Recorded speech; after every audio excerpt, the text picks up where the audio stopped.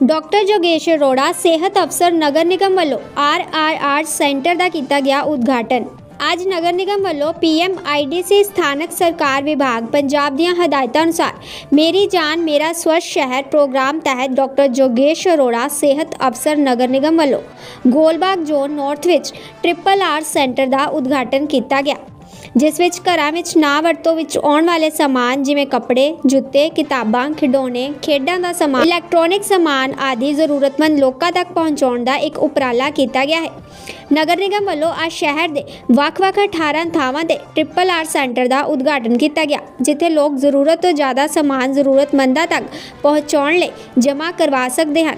ਜਿਸ ਨਾਲ ਵਾਧੂ ਸਮਾਨ ਨੂੰ ਵਰਤੋਂ ਵਿੱਚ ਲਿਆ ਕੇ ਮਨੁੱਖਤਾ ਦੀ ਸੇਵਾ ਵੀ ਕੀਤੀ ਜਾ ਸਕਦੀ ਹੈ। ਜੋਨ ਨਾਰਥ ਵਿੱਚ ਗੋਲ ਬਾਗ ਤੋਂ ਇਲਾਵਾ Taylor road zone number 6 company Bagh ਅਤੇ ਸਾਹਮਣੇ ਡੈਂਟਲ ਕਾਲਜ ਮਜੀਠਾ ਰੋਡ ਉੱਪਰ ਟ੍ਰਿਪਲ ਆਰ ਸੈਂਟਰ ਬਣਾਏ ਗਏ ਹਨ।